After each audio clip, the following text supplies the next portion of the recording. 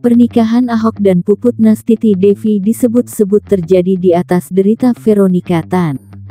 Bagaimana tidak, Ahok diketahui menceriakan Vero atas tuduhan lelaki idaman lain, tapi dirinya yang ketahuan menikah terlebih dahulu.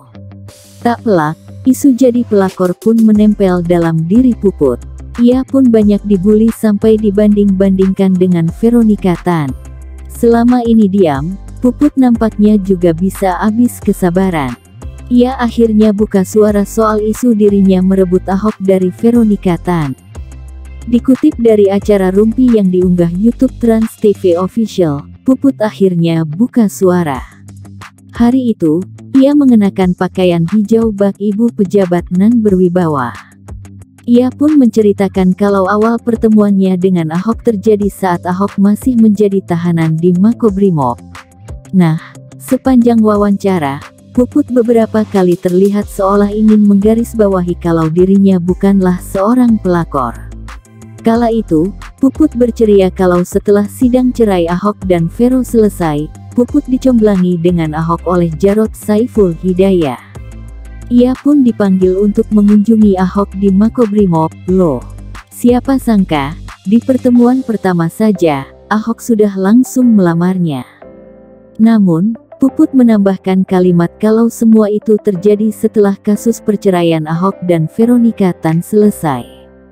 Setelah kasus berpisahnya selesai, Bapak Ahok panggil saya. Terus yang bikin saya kaget, dia pertama kali bukan nanya, kamu mau gak jadi pacar saya? Bukan, tapi bapak bilangnya seperti ini, kamu mau gak jadi bini gua, dia bahasanya gitu, cerita Puput sambil tertawa. Ia pun mengaku kaget mendengar ucapan Ahok dan mengaku meminta waktu untuk berpikir. Saya sok dong ya, kaget. Saya akhirnya berdoa sama Tuhan. Kalau ini memang jodoh saya, tolong dekatkanlah. Kalau bukan jodoh saya, tolong jauhkanlah dengan cara yang baik ceritanya. Jadi sebelumnya tuh gak ada apa-apa-apa gitu sama sekali, tanya Feni Rose saking kagetnya dengan kedekatan Ahok dan Puput-Puput pun dengan yakin kalau di antara dirinya dan Ahok belum pernah ada getar-getir asmara atau hubungan sebelumnya. Semuanya terjadi murni setelah Ahok dan Veronica Tan bercerai. Gak ada, sama sekali tiba-tiba aja. Pasti sok lah, Dateng ditanyanya, mau gak jadi bini gue, kata Puput.